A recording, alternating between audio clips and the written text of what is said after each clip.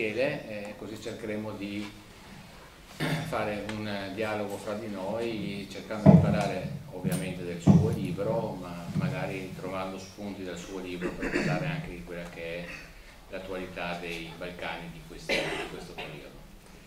Innanzitutto volevo chiederti Michele, l'idea del libro nasce perché hai conosciuto quella città magica che si chiama Sarajevo o ti è venuta l'idea della trama e hai pensato poi di inserire Sarajevo?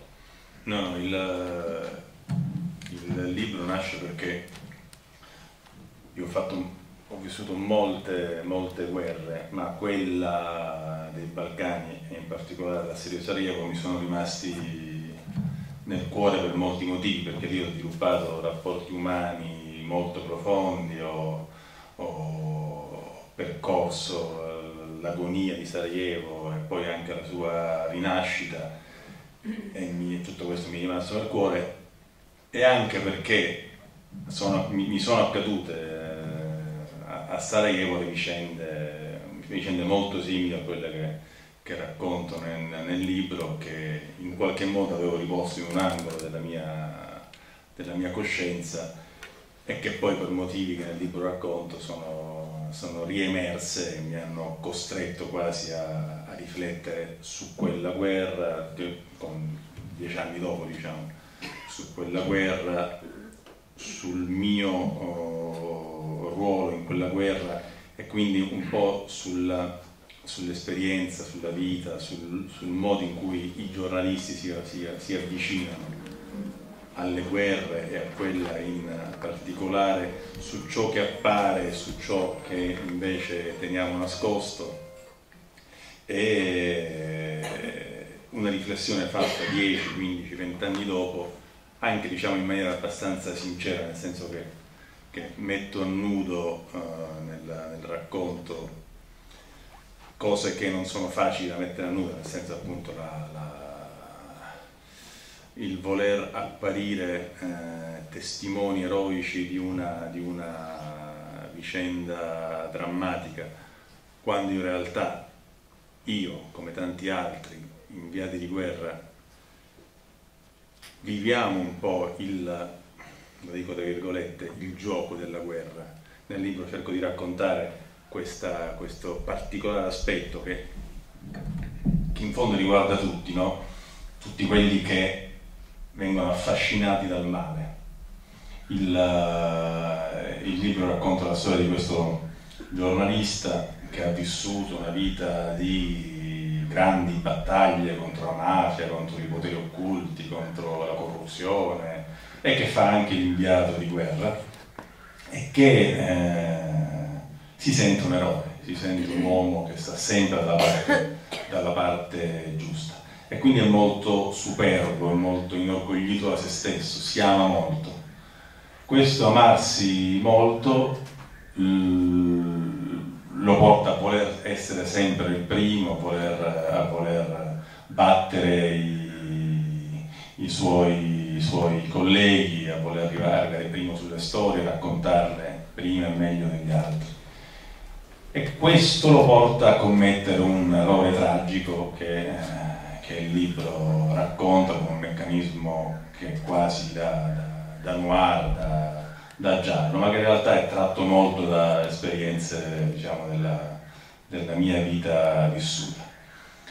E dopo che questo, questo, tragico fatto accade, il giornalista è costretto a, a ripercorrere il suo, il suo agire e a dirsi che è stata la sua superbia, il suo appunto sentirsi migliore degli altri, il suo, il suo oh, voler primeggiare a, fa, a, non fargli vedere l'errore che stava per commettere e a farlo cadere in una tragica vicenda. E l'altro aspetto è appunto quello del gioco, dicevo prima. La guerra, per chi l'ha vissuta da vicino, non da, diciamo, non da vittima, ma da spettatore, come sono comunque i giornalisti, può essere in alcuni momenti un, un gioco molto affascinante. L'adrenalina, il, il, lo stare a, vicino alla morte, anche rischiare la, la vita, ti dà una, una sensazione, un'eccitazione che è in qualche modo una sorta di droga. E questa è una cosa che noi giornalisti, come dire, tendiamo a tenere nascosta nel, nel cassetto della nostra coscienza. Il protagonista del libro su questo uh. E sì, per tornare alla domanda, tutto questo nasce ovviamente dalla, dal grande amore che io, come te, come tanti altri, abbiamo, che noi che siamo accostati alla città di Sarajevo, alla meravigliosa città di Sarajevo, alla sua cultura multietnica, in quegli anni in cui, in cui tutto questo veniva, la bellezza di Sarajevo veniva messa in un angolo, diventava quasi come dire una, una, un, attirava, attirava l'odio, attirava la violenza.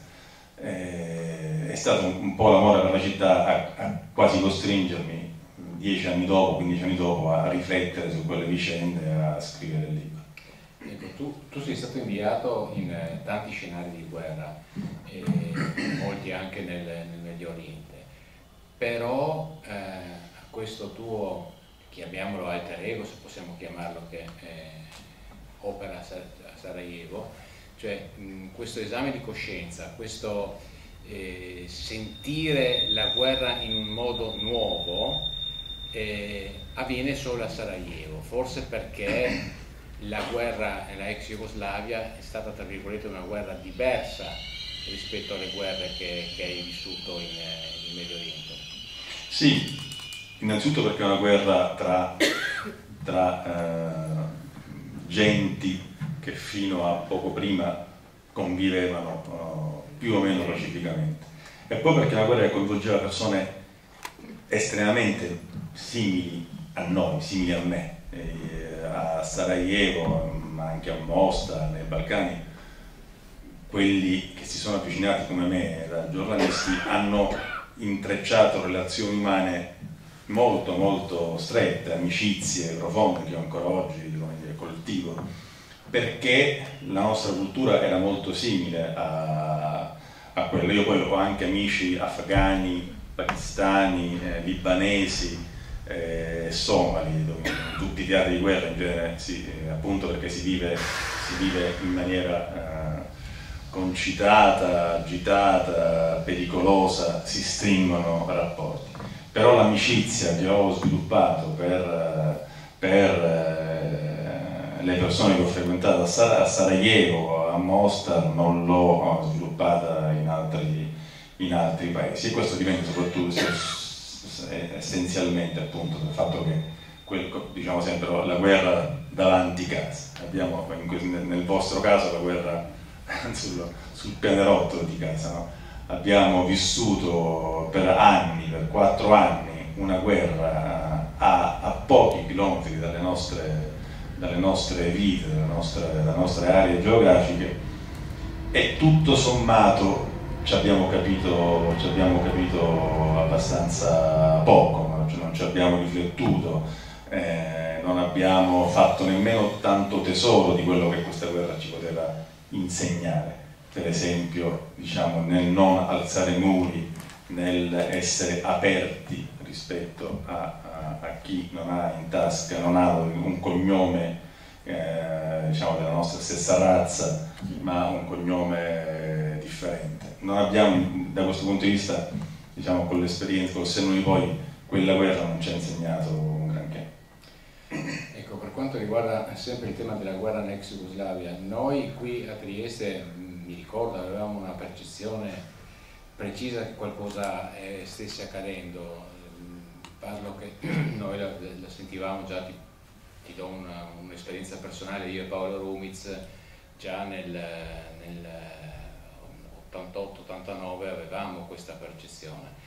Io ho trovato invece i nostri colleghi che arrivavano da, da altre parti d'Italia assolutamente impreparati a seguire questa, questa guerra. Cioè c'era gente che confondeva Slovenia con Slavonia, eh, che non capiva dove era pur essendo la prima guerra che scoppiava in Europa dopo la seconda guerra mondiale. Ecco, secondo te eh, questa eh, impreparazione a un evento bellico e poi cruento come è stato quello nella ex Jugoslavia, perché eh, in Italia non è stato così sentito. Lasciamo perdere noi che eravamo terra di confine e quindi avevamo una percezione eh, particolare di queste cose, ma quando noi anche parlavamo con altri, con altri colleghi, parlo due o tre anni prima che scoppiasse la guerra, ci prendevano per dei visionari mm. e dicevano state calmi, state tranquilli che tanto non succede niente. Ecco, perché questa percezione diversa? Diciamo così, da Roma rispetto a qualcosa che veniva oltre l'Adriatico tutto sommato, no? Non lo so, sai, io probabilmente ero tra gli ignoranti, no. cioè, nel senso che anche io quando sono...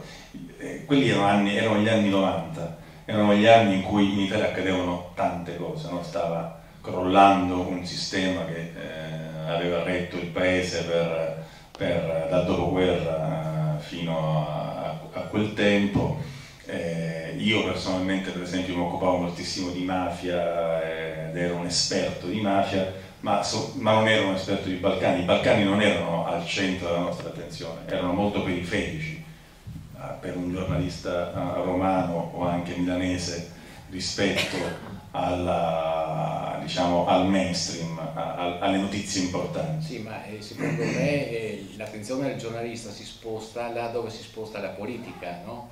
cioè là dove si sposta l'interesse dell'opinione pubblica che comunque è eh, formata da un gruppo dirigente. Mm-hmm. Quindi secondo me c'era una disattenzione nei confronti di quello che succedeva oltre l'Adriatico da parte di quelli che sì. guidavano l'Italia, cioè un disinteresse proprio... Cioè, il sistema politico italiano stava implodendo, stavano emergendo figure nuove, eh, nei, nei vecchi, nei nuovi avevano grande attenzione per ciò che accadeva fuori dai nostri confini. È chiaro che tu, Rumiz, avete una sensibilità particolare perché vivete al confine.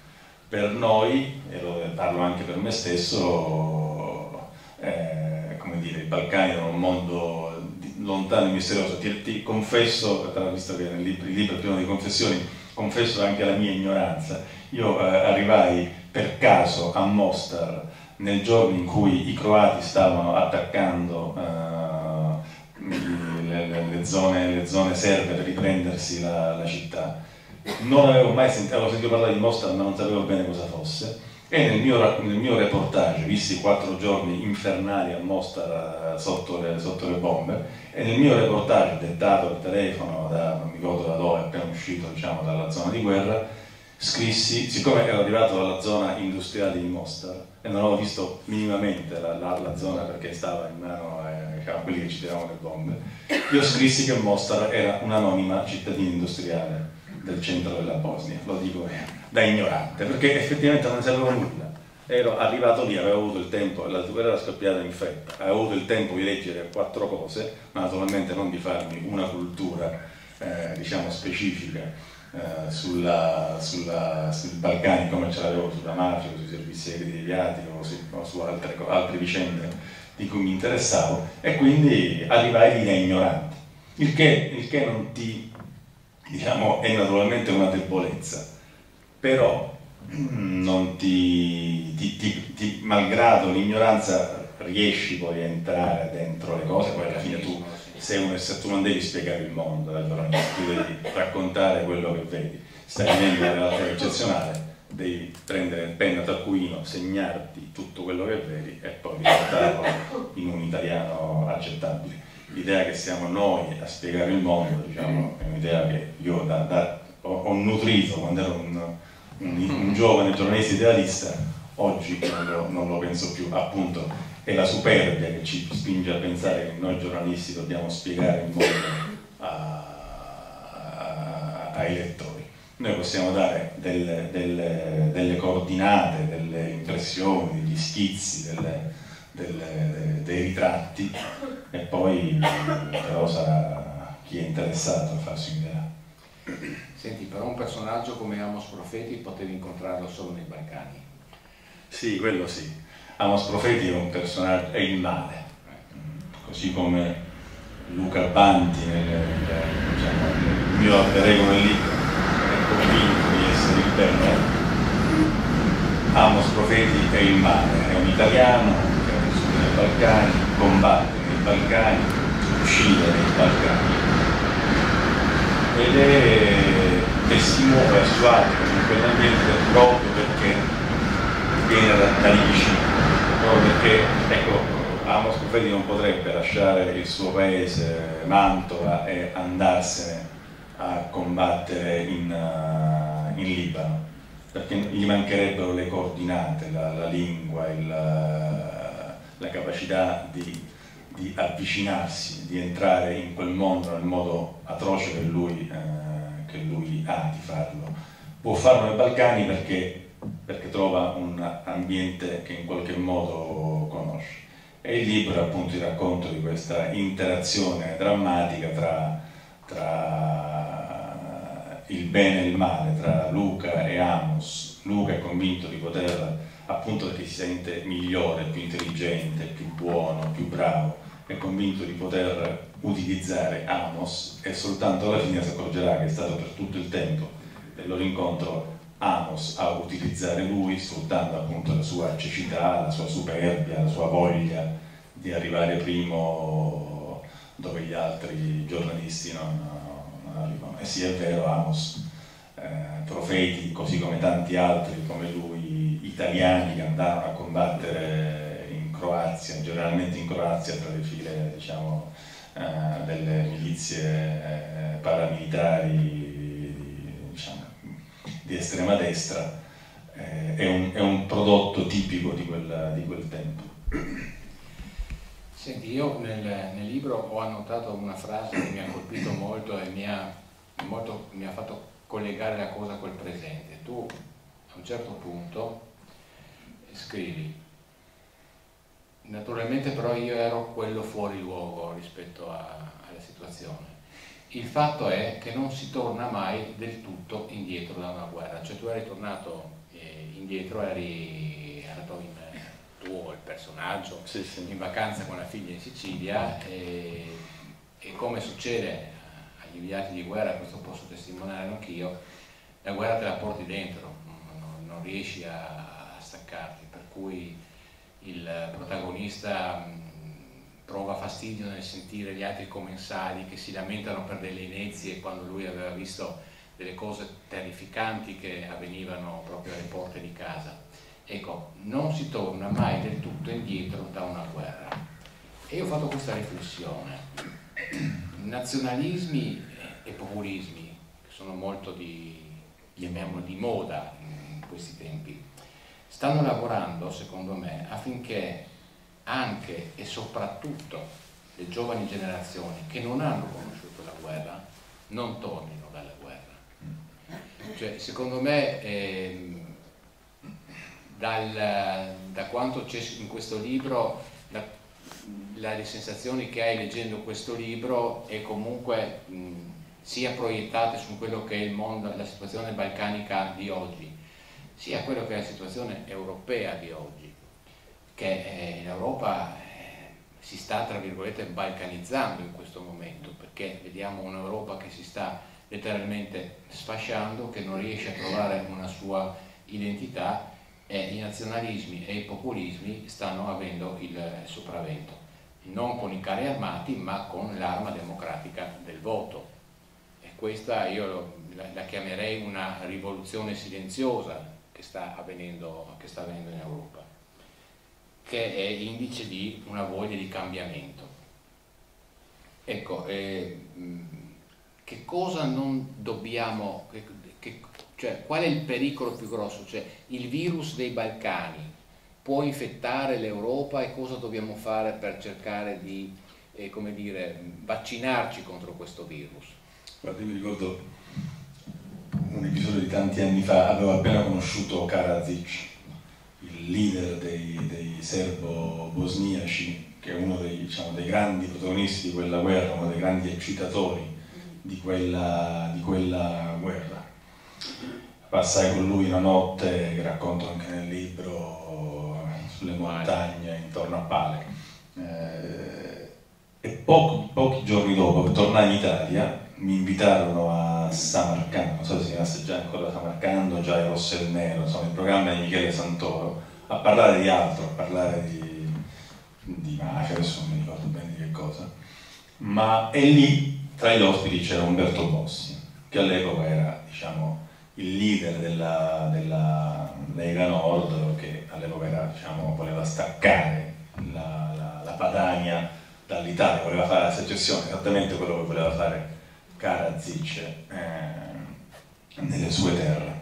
E mi impressionò la vicinanza, de, un po' anche fisica, i capelli bianchi, l'aspetto un po' truce, anche questo modo apocalittico di, di, di parlare, ma soprattutto come dire, le argomentazioni. No? Noi siamo noi, gli altri devono stare fuori, ma gli altri sono i nostri, quelli che non, hanno il nostro, non si chiamano appunto Bergonzoni e si chiamano Caruso, sono nostri nemici soltanto perché si chiamano Caruso, che se ci pensate è, la più grossa stupidaggine che si possa, che si possa pensare. Siamo arrivati al punto 30 anni dopo, 25 anni dopo, che quella che all'epoca era appunto, potevano sembrare le farneticazioni del giovane Bossi, del giovane Caraggi, sono entrate nel, nel, nel linguaggio comune, nell'uso comune. Oggi noi siamo tutti in guerra permanente contro qualcun altro, che possono essere un giorno i siciliani, un giorno i, i somali, un giorno gli eritrei o i siriani che scappano dalla guerra.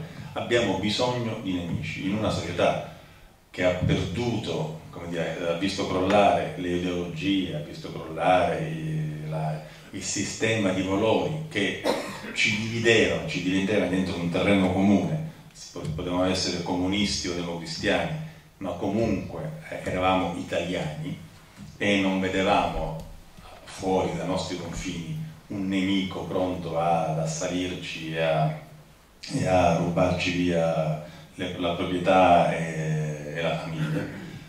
Da quel sistema siamo passati a un altro sistema in cui non abbiamo più un grande sistema di valori, un grande, una grande rete di valori condivisi e siamo tutti quanti alla ricerca di un nemico. E in questo diciamo, i politici di oggi sono bravissimi ad agitare queste paure. È quello che, che 20, 25 anni fa erano le, eh, diciamo, le, un po' le per me erano farneticazioni di Karadzic e di Bossi che a me sembravano incredibilmente uguali, oggi sono diventati il, un diciamo, luogo comune. Siamo tutti d'accordo sul fatto che ci sono dei nemici alle porte che bisogna respingere e che la nostra identità si forma in quanto ci sono quei nemici. Bossi diciamo, ha fatto un percorso alla fine al fascismo, Karadzic invece ha avuto quello che voleva, vale a dire una, una guerra che è stato come criminale di guerra. Quello che è vero è che non abbiamo, non abbiamo saputo metabolizzare, imparare nulla da quelle vicende e, e oggi l'Italia, l'Europa, come dicevi tu, è, è, un, è, un, grande paese balcanico, anzi una grande, è una mira di paesi balcanici che si guardano con sospetto l'uno con l'altro e che, che, sono pronti a scendere in guerra, per fortuna solo verbale, l'uno contro l'altro. Sì, eh, un'Europa che eh, di punto in bianco si vede con l'Inghilterra che se ne va, la Gran Bretagna che se ne va e vede nel suo cuore come in Spagna la Catalogna che mira riferimento all'indipendenza, il punto che è la Spagna non ha mai riconosciuto il Kosovo per questo, perché se crea un precedente poi in casa sua eh, gli succede il, il 48. Insomma. Ecco, tornando, tornando all'attualità, mm, tu hai vissuto il perché, eh, hai vissuto cosa è successo nell'ex Jugoslavia in quei tempi. Nel 95 c'è stato il trattato di Dayton, diciamo un trattato un po' estorto perché li hanno portati in questa località americana, gli Stati Uniti, li hanno presi, li hanno tirati un po' per le orecchie no? e gli hanno detto guardate se non volete che facciamo tavola rasa con, con i bombardamenti è meglio che ci mettiamo d'accordo. È andata bene per quasi tutti i paesi, il paese più complicato ovviamente qual era? Era la Bosnia. La Bosnia perché presentava una mescolanza etnica assolutamente, una ragnatela all'interno del del suo territorio come l'aveva disegnato Tito a suo tempo come, come repubblica di, eh, di, etnie. Dayton gli ha dato una Costituzione che ha retto fino, fino adesso. C'è però diciamo così, un cancro in questa, in questa società politica che si è creata. Cioè i partiti che, sono, che hanno preso corpo dopo, dopo Dayton sono partiti etnici. Cioè noi non abbiamo come negli altri paesi un partito liberale, un partito socialdemocratico, come abbiamo in Croazia un partito nazionalista di destra, l'HDZ, e poi abbiamo i socialdemocratici dall'altra parte. In Slovenia ci sono più formazioni, ci sono anche formazioni di centro, cosa che in Croazia magari a parte i popolari non esistono. Ma lì i partiti, i tre partiti principali sono partiti etnici. Cosa succede? Che quando mh, poi eh, la Costituzione è, io l'ho scritto il primo giorno che, che l'hanno deciso, la Costituzione della Bosnia e la Costituzione della, della Jugoslavia in, eh, fatta in, in, miniatura. Cioè è fatta in modo che non si riesca a decidere, perché la presidenza della presidenza collegiale una volta era un organismo del Partito Comunista, adesso è un organismo dei partiti interetnici.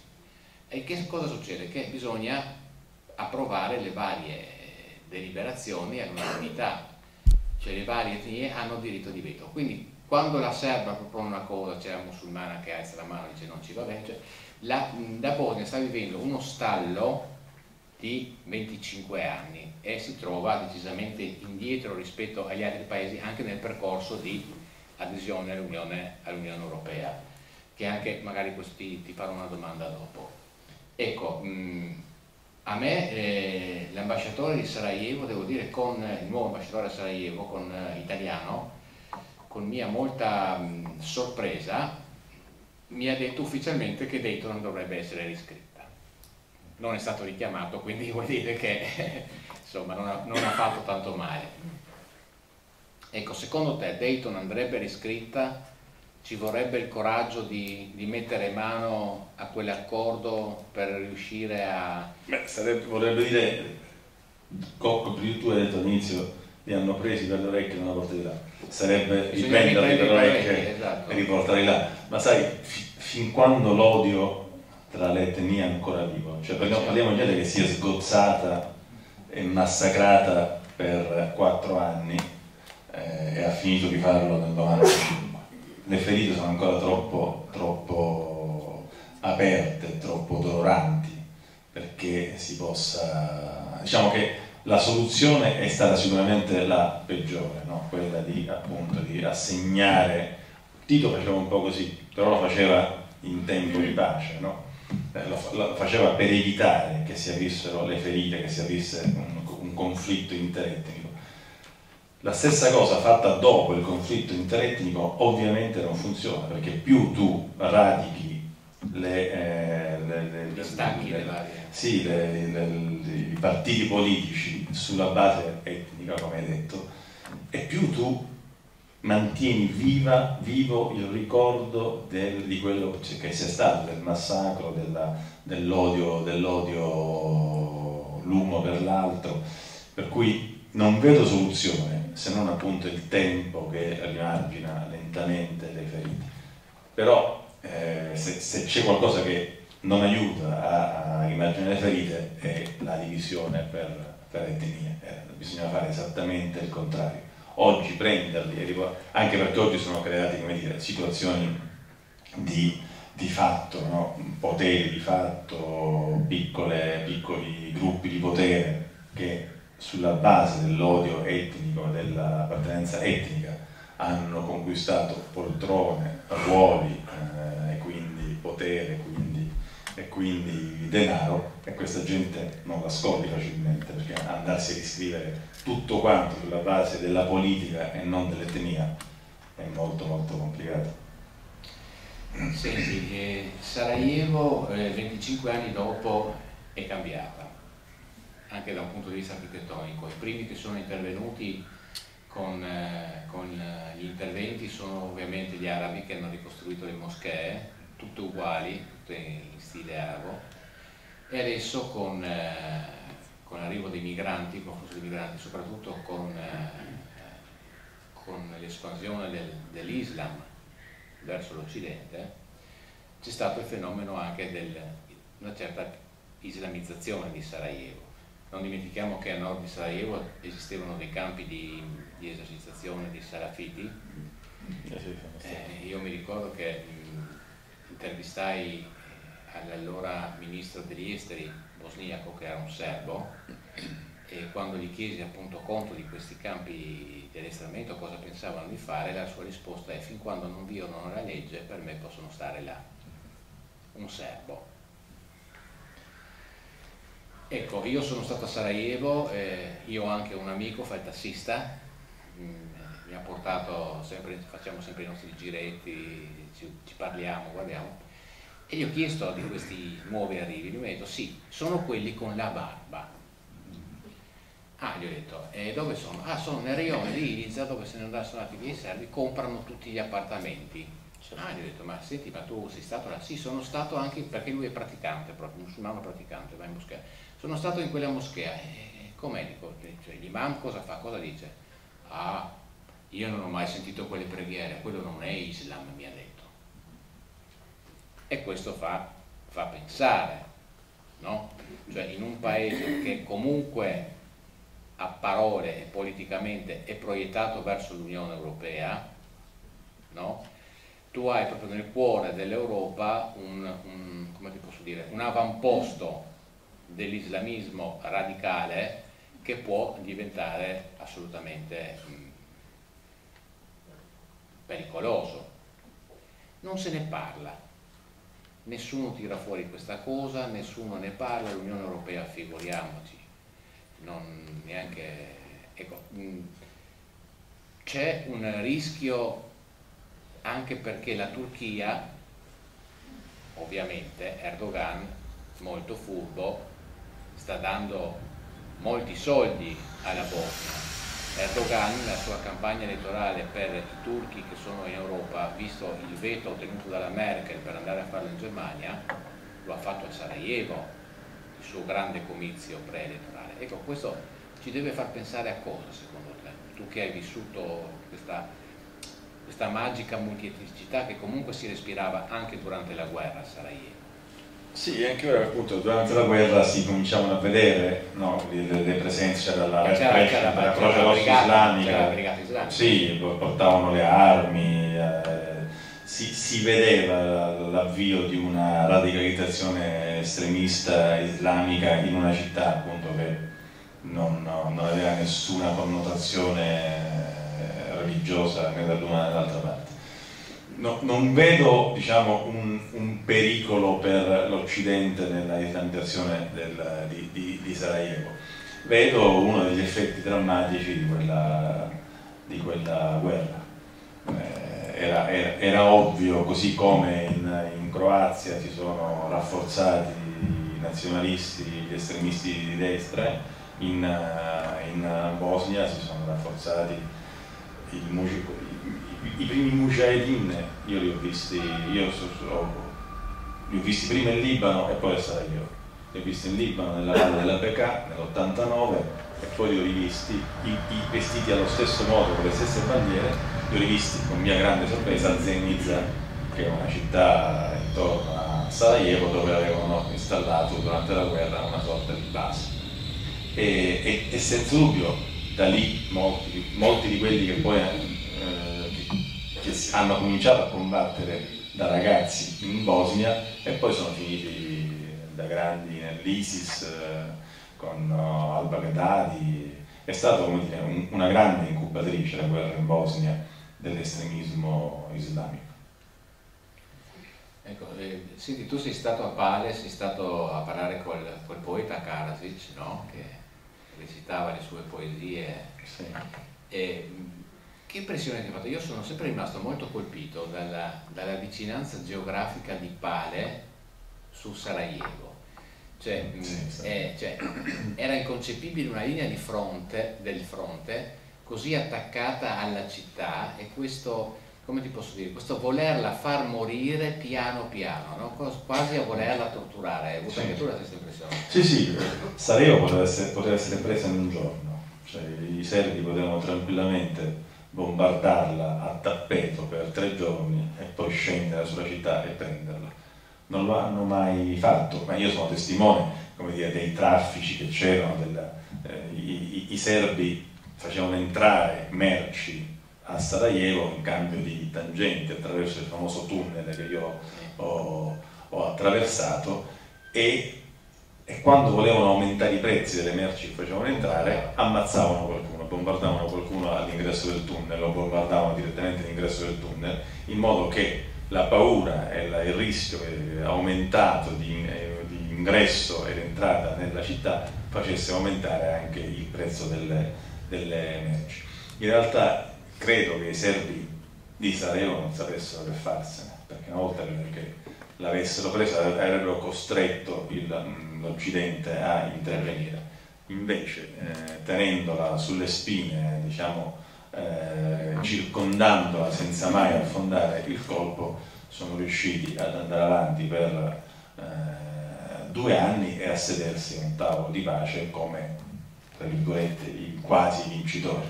Poi l'errore l'hanno fatto in Kosovo subito dopo, esatto. ma dalla, dalla, dalla, dalle atrocità commesse in Bosnia sono usciti abbastanza, abbastanza dire, in piedi. Enzo, mi veniva in quello, scusa, quello di, che di Karadzic a me mi colpì quando incontrai era il vittimismo. Cioè un, un uomo che, ha, che, sta fomentando l'odio, che è eh, responsabile all'epoca del, dei, dei, primi scontri, che si sta preparando a, a circondare e aggredire una città che già, eh, è stato già fautore di molte pulizie etniche nelle zone intorno, un uomo che, che con la forza sta per aggredire una città inerme, che fa la vittima, che, che dice che è colpa degli altri, che dice che ci sono quelli che li vogliono, che, che ci sono fuori i potenti, eh, i radical, i, i poteri forti, eh, la massoneria e, e, la sinistra che eh, che lo vogliono distruggere, che vogliono distruggere il suo popolo. Il vittimismo di Karadzic oggi, se ci fate caso, è diventato dire, la cifra politica di molti leader che in mancanza, in mancanza di uh, argomenti, in mancanza di proposte politiche, in mancanza di un progetto di, di crescita de, dei loro rispettivi paesi, non sono capaci altro che di fare le vittime, che di dire che è colpa di tu, che tutti ce l'hanno con loro, che tutti ti vogliono aggredire, che loro si stanno difendendo e che bisogna stringersi a corte per eh, respingere l'ipotetico assalto. Questa, questo, questa, questo vittimismo che io appunto ho visto per la prima volta nel leader politico, eh, nonché criminale di guerra Radovan Karadzic, oggi è diventata una, uno dei linguaggi preferiti della, della politica, chiamiamola populista, sovranista, quello che... però questo è. Ecco, un'altra, un'altra riflessione che mi viene da fare anche leggendo il tuo libro, vedendo personaggi come Amos Profeti che si muovono in questo, in questo magma no? che era la guerra ex Jugoslavia. La guerra ex Jugoslavia è stata anche un grande affare, come hai potuto anche eh, scrivere tu, cioè, si muovevano criminali, organizzazioni mafiose, eh, traffico di armi. Ecco, l'impressione era che non si volesse fare uno, una grande offensiva, la, diciamo così, un'avanzata forte proprio per permettere che questo magma eh, coprisse questi traffici. Non per niente ne sono venuti fuori personaggi come Arcan, che è diventato miliardario proprio attraverso il traffico di, di armi e, e, e, di droga attraverso i Balcani in fiamme. Ecco, un'altra stranezza che ho sempre notato in questa guerra è che la Serbia, ad esempio, aveva un, un'aviazione, non dico pari a quella di, che poteva schierare la Nato, però insomma avevano i, i loro MiG-29, avevano un'aviazione, quella che era l'aviazione dell'ex Jugoslavia, ce l'avevano loro a Belgrado. Non hanno mai fatto decollare un aereo cioè, era una guerra nomad, tra virgolette. Sì, era una guerra che si chiama una guerra a bassa intensità. Cioè una guerra... Io nel libro racconto l'incontro che ebbi con un uh, trafficante d'armi, ne parlavo stamattina, oggi pomeriggio con Gaspar, un incontro che ebbe con un trafficante d'armi a Bled, qui vicino in Slovenia, dove lui aveva una specie di castello, e, e lui mi all'epoca stavo scrivendo un libro sul traffico d'armi in Bosnia, appunto perché vista con gli occhi del commercio, quella guerra risultava incomprensibile, perché eh, i, serbi, i croati vendevano armi ai serbi, i serbi vendevano armi ai bosniaci e poi con quelle armi si sparavano addosso l'uno contro, contro l'altro. E io chiesi all'esperto, al trafficante d'armi questa stranezza, e lui mi disse, mi fece un discorso un po' folle, ma dal suo punto di vista del tutto ragionevole, che diceva noi somministriamo le armi, noi intanto facciamo soldi ovviamente, e quindi è più la guerra dura e più soldi facciamo. Ma, ma, ma, noi lo facciamo con intelligenza perché noi somministriamo armi sapendo esattamente qua, a quanto tempo, uh, quanto tempo, durerà questa guerra in, in, relazione alle armi che forniamo. Perché noi potremmo anche inondare un solo paese, una sola etnia, in questo caso, di armi e lasciare che distrugga le altre. Ma questo non sarebbe un bene, perché in questo modo le ragioni che hanno uh, fat, uh, fatto nascere il conflitto non verrebbero risolte. Il conflitto finirebbe in, in, un, in un periodo troppo breve di tempo e nell'arco di pochi mesi si riproporrebbero gli stessi problemi. Se invece noi una guerra la facciamo durare per lungo tempo, estenuiamo tutte le forze in campo, civili, militari, eh, opinione pubblica, eh, stampa, poteri forti eh, e quant'altro, quando decideremo che può, quando, la faremo finire quando, come dire, ci sarà una predisposizione da parte di tutti verso un accordo.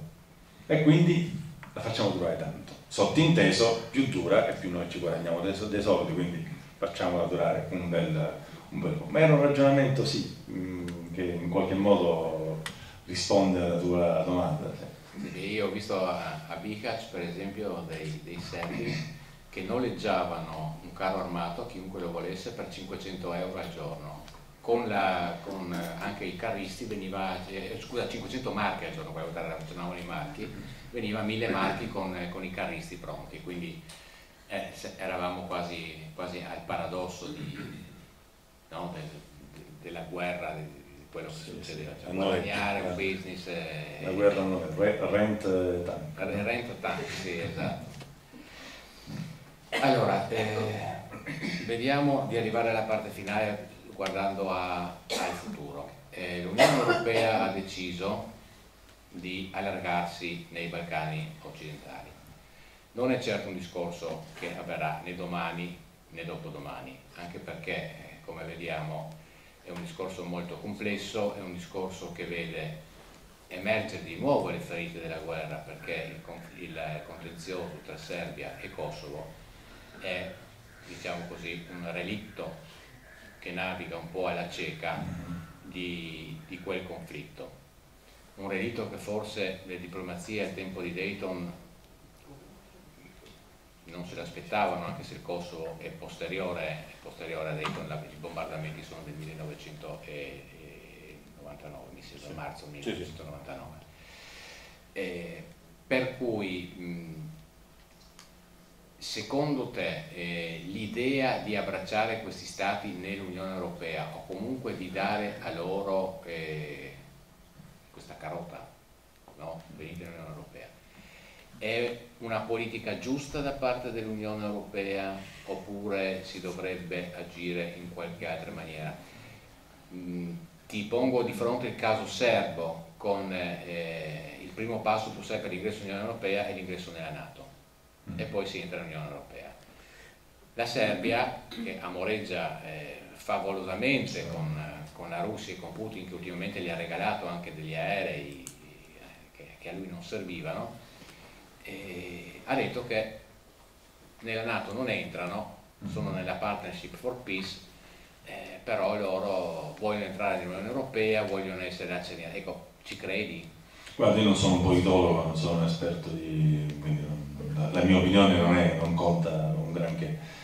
penso in generale che se l'Unione Europea apre, io penso che in, in, in politica non so se vince, ma si, si, muove bene chi accoglie e non chi si chiude. Quindi se l'Unione Europea riesce a, eh, dire, a portare eh, nel, suo alveo eh, paesi che hanno bisogno di tutto, hanno bisogno di, di, di, di risorse, hanno bisogno di pace, hanno bisogno di eh, una politica forte, hanno bisogno di imparare, sono paesi che sono, dire, sono regrediti a uno Stato primordiale e che oggi vanno, vanno reinseriti in società, se fossero persone andrebbero, andrebbero reinseriti in società. Eh, penso che se l'Unione Europea riuscisse a fare questo sforzo farebbe una cosa buona, e anche che lo dico da, diciamo, da, da, non da esperto del, del ramo.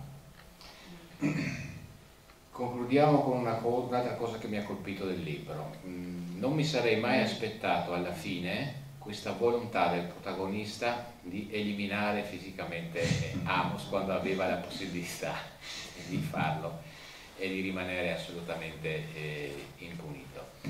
E, e, poi anche un'altra cosa volevo chiederti, perché questa, eh, questo personaggio, questo giornalista che comunque ha vissuto in prima persona, mh, sto parlando del personaggio, eh? Sì. E, le guerre, ha avuto questa, tra virgolette, redenzione molto atroce a, proprio a Sarajevo, perché poi accetta questo posto di lavoro così mh, fuori, fuori, posto per lui, assolutamente... Mh, diciamo che tra virgolette stupido per uno che, che, sì, che aveva sì, fatto quel tipo di, di, lavoro. Luca Banti lo spiega, essendo stato molto superbo, accettare quel, quel posto di lavoro, che chiaramente come dire, un modo per umiliarlo, eh, lo fa perché in questo modo dimostra a se stesso di non essere più superbo. Lui dice eh, non sono più nulla, quindi posso fare qualsiasi cosa e in quest'ottica, in quest'ottica accetta il lavoro. Riguardo al, al, desiderio di uccidere, che poi ovviamente quello sia un pezzo di fantasia del libro, io credo che al centro libro c'è, la guerra e c'è la grande questione che la guerra mette in gioco, che al fine di tutto è, è quello della dignità dell'uomo. No? Tu, tutti noi, in fondo, se ci fate caso, al di là, tutti noi viviamo per la famiglia, per il successo professionale, per l'amore, ma alla fine, alla fine delle cose, la cosa per cui viviamo è la nostra dignità, no? Vogliamo essere dignitosi, vogliamo avere una dignità nel mondo, vogliamo che la gente ci rispetti quando andiamo per strada. Quello che la guerra fa, oltre tra le, la cosa più profonda che la guerra fa, anche quando non ti ammazza, non ti ferisce, è di toglierti la dignità. Perché quando, perché la guerra sovverte tutti i valori. Tu puoi essere un avvocato, un medico, un ingegnere, un meccanico, un, un bravo padre di famiglia. Tutte queste cose la guerra te le toglie. Perché tu sì, perché, perché, perché vince chi spara, vince chi urla, vince chi esercita violenza. E la tua dignità ti viene tolta. Devi conquistarla in altre forme e in altri, in altri modi.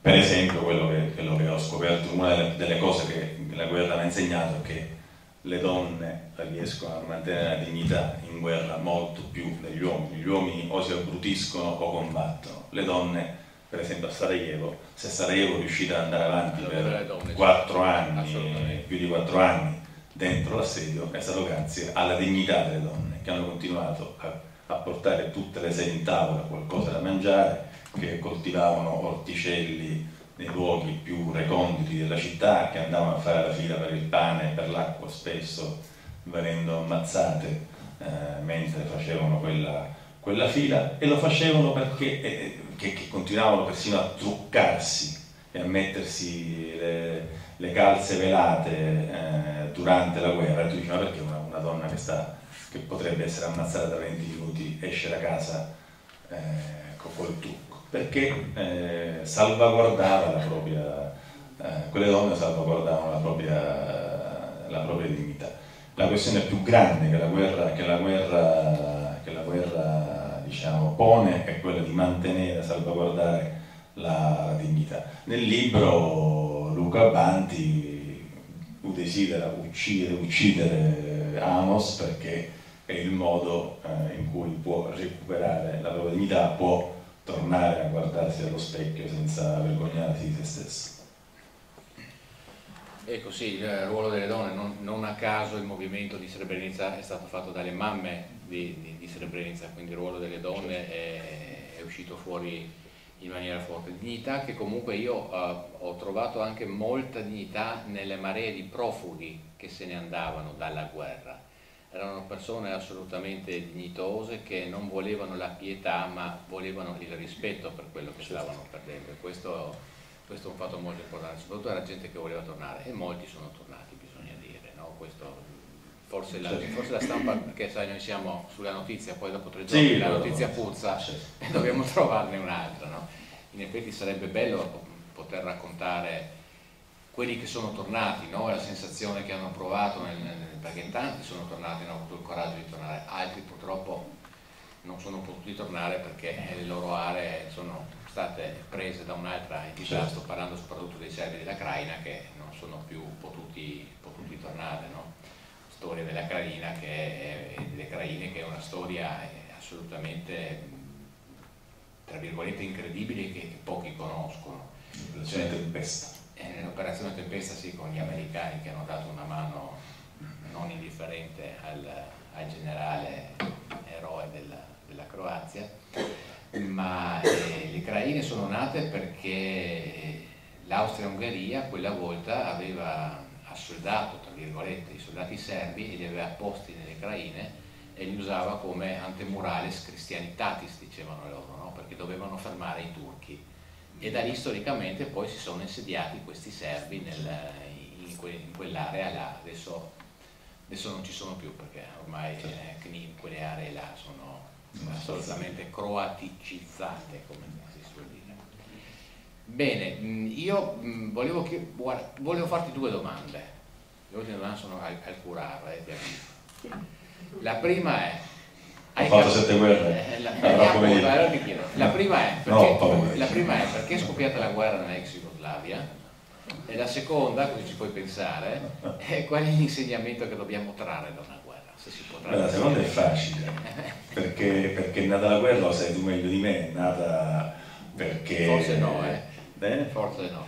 Cioè, dentro una crisi economica che attanaglia, che attanaglia, il paese, che mette in discussione dire, gli equilibri, i poteri costituiti, il potere, in mancanza di altre di, di idee migliori, può uh, pensare che la, la, soluzione sia additare come responsabili gli appunto gli altri, fare un po' le vittime e dire colpa, è colpa dei croati se, se io Milosevic non sono in grado di eh, mantenere il PIL alto quest'anno, siete in crisi economica, pigliate la Croatia che ci ruba molto quanto, pigliate con quelle zenti dei bosniaci che, che continuano a chiederci soldi.